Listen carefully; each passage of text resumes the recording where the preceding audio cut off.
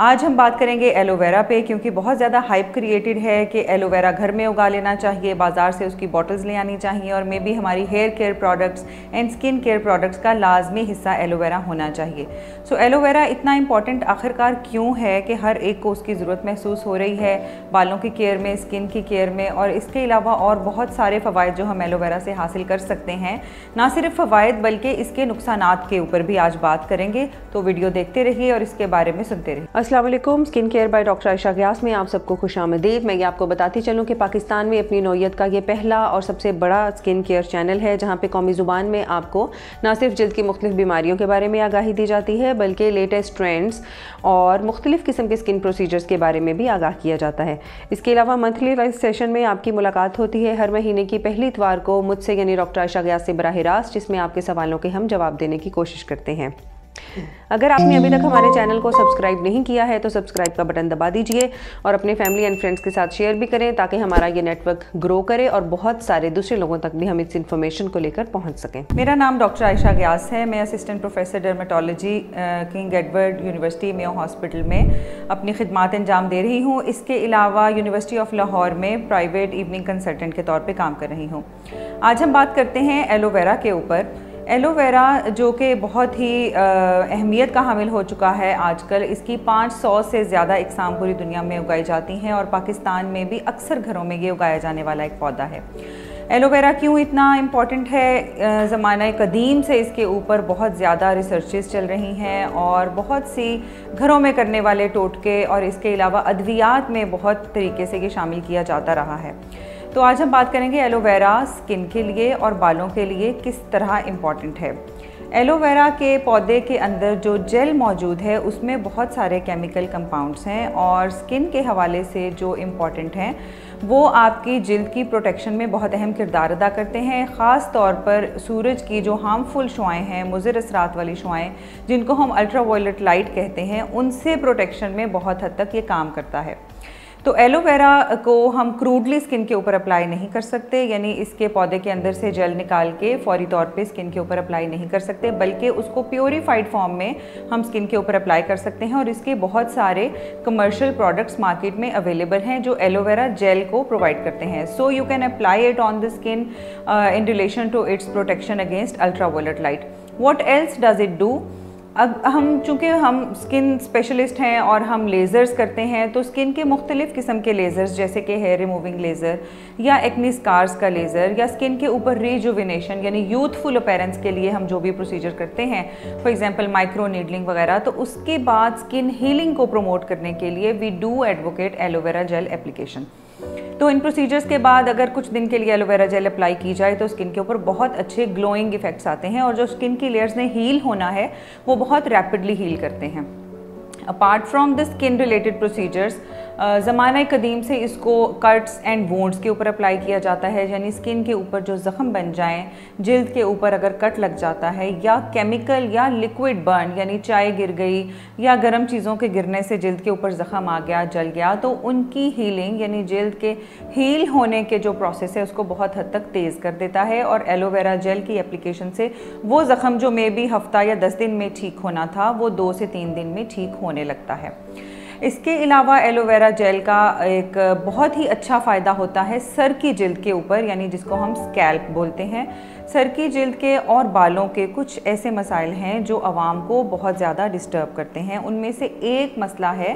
Sir की जल्द की चंबल, जिसको हम सेब्रिक डर्माटाइटिस बोलते हैं। सेब्रिक डर्माटाइटिस या एसडी का मसला बचपन से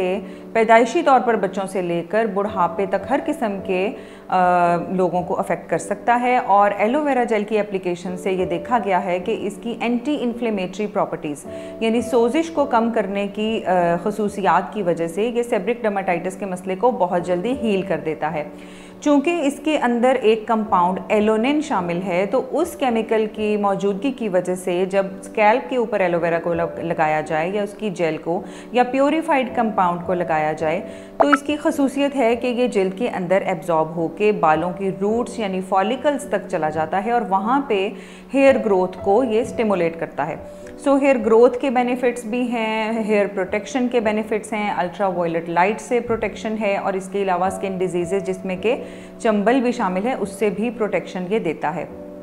चूँकि आप लोगों को मालूम है, बहुत सारी ख़वातीन अपने बालों की केयर में स्ट्रीकिंग रिबॉन्डिंग स्ट्रेटनिंग आयरनिंग और इस तरह की डाइंग वगैरह के प्रोसीजर कराती रहती हैं, जिससे बालों को काफ़ी हद तक डैमेज होता है, नुकसान होता है। तो बालों की जो बाहर वाली बैरूनी तय है, वो टूट फूट का शिकार हो जाती है, उसकी लेयर्स उतरना शुरू कर देती हैं और एपरेंटली आपके बाल फ्रिजी लगते हैं, उनका टेक्सचर ख़राब लगता है, कोम करने में मुश्किल आती है और इसके अलावा उनका कलर भी डिस्टर्ब होता है। इन सारे प्रॉब्लम्स को हल करने में एलोवेरा बहुत हद तक मुआवन है। वो किस तरह? वो इस तरह के एलोवेरा एलोवेरा की जेल बालों पे डायरेक्ट अप्लाई करने से या फिर कुछ मैं आपको ऐसे कॉम्बिनेशंस बताऊँगी जिनके साथ एलोवेरा जेल अगर अप्लाई की जाए बालों के ऊपर तो वो उनकी जो लेयर्स टूट फूट का शिकार हैं उनकी हीलिंग में मदद करता है। सो so, अपेरेंटली आपके बालों में बहुत ज़्यादा ग्लो एंड शाइन ऐड हो जाती है। And on top of that you have the added benefit of stimulated hair growth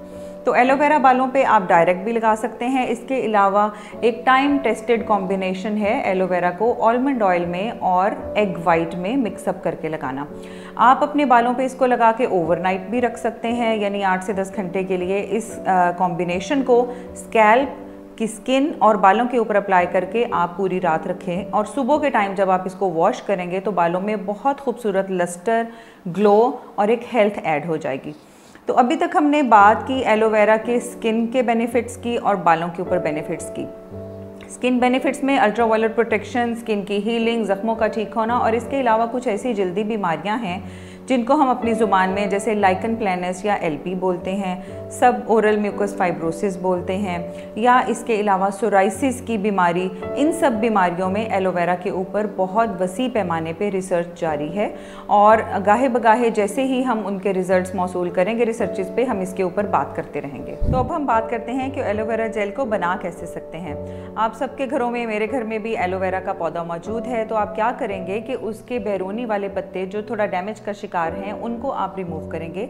चाकू के साथ आप एक वेजिटेबल कटिंग बोर्ड को रखेंगे, उसके ऊपर उस एलोवेरा के पौधे को रखें और कोशिश करें कि काटने से थोड़ी देर पहले उसको उल्टा लटका दें पत्तों को।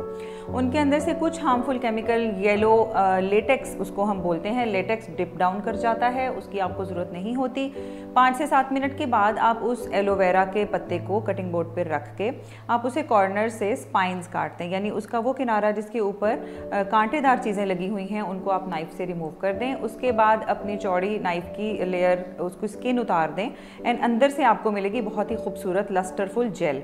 अब उस जेल को आप डायरेक्टली ब्लेंड करके भी यूज़ कर सकते हैं एलोवेरा जेल को, और इसके अलावा आप उसको डिफरेंट कॉम्बिनेशन जैसे मैंने मैंशन किया एग वाइट और ऑलमंड ऑयल के साथ मिला के भी यूज़ कर सकते हैं. एलोवेरा जेल चूँकि बहुत सारे केमिकल्स का एक मिक्सचर है, और ये क्रूड फॉर्म में, ये बोटानिकल फॉर्म में है तो इसका नुकसान भी हो सकता है. इसकी सेफ्टी पे बात करने से पहले मैं ये बता दूँ कि purified aloe vera gel commercially available होती है मार्केट्स में शॉप्स में and you can purchase it and use it on to your skin and also on the scalp तो let's talk on the safety of aloe vera now अब हर चीज़ जो कि natural form में या कुदरती तरीके से हमारे पास मौजूद होती है, ज़रूरी नहीं है कि वो हमारे लिए 100 परसेंट सेफ़ हो। तो उसमें वो पेशेंट्स जो कि एस्थमा या स्किन एलर्जीज़ या एक्जिमा या चंबल या हाइव्स जिसको हम छपाकी बोलते हैं, इस किस्म की एलर्जीज़ अगर किसी पेशेंट को या उसकी फैमिली मेंबर्स को हैं तो चांसेस हैं कि उसको एलोवेरा जेल से भी एलर्जी या रिएक्शन हो सकता है। तो इसके लिए क्या करना होगा? आपको पैच टेस्ट करना होगा। पैच टेस्ट से मुराद मेरी ये है कि कोई भी चीज़ जो आप इस्तेमाल करने जा रहे हैं, उसकी बहुत थोड़ी सी मकदार, जैसे कि फ्यू ग्राम्स यानी आप एक मटर के दाने के बराबर एलोवेरा जेल को अगर आप स्कैल्प पे अप्लाई करना चाहते हैं तो कान के पीछे की जिल्द के ऊपर लगा के रखें। फॉर 30 मिनट्स अगर आप उसे लगा के रखते हैं और आपको कोई एलर्जी डिवेलप नहीं होती, खारिश नहीं होती स्किन रेड नहीं होती तो that means you are safe to aloe vera इसी तरीके से अगर आप स्किन के ऊपर यूज़ करना चाहते हैं तो माथे की स्किन थोड़ी सी रफ़ होती है कम सेंसिटिव होती है you can apply it over there for 30 minutes and then see अगर आपको उसके साथ कोई प्रॉब्लम डेवलप नहीं होता तो probably you are safe to use aloe vera तो एलोवेरा जो है, वो चूँकि इसके अंदर कुछ टॉक्सिक कंपाउंड्स हैं तो जो प्योरीफाइड एलोवेरा जेल है मार्केट्स में available it's better to use that gel और अगर आप घर में यूज़ करना चाहते हैं तो go for patch testing first बहुत सारे लोगों को एलोवेरा जेल को अपने खानों में इंक्लूड करने की आदत है तो यहाँ पे चूँकि मैं स्किन स्पेशलिस्ट हूँ, लेकिन मेरे तजर्बे में बहुत सारे ऐसे प्रॉब्लम्स देखे देखे गए हैं कि patients would wanted to use the aloe vera on the skin and scalp but in addition उन्होंने देखा कि इसके जो हैं, वो आंतों के ऊपर भी फ़वाद हैं या इसके एंटी एजिंग में फ़वाद हैं या बहुत सारे दूसरे जोड़ों के मसाइल जिसको हम इन्फ्लेमेटरी आर्थराइटिस बोलते हैं, यानी जोड़ों की बीमारी तो उसमें ज़्यादा फ़वाद हैं। तो वोट दे डेड कि उन्होंने खानों में इस्तेमाल करना शुरू कर दिया।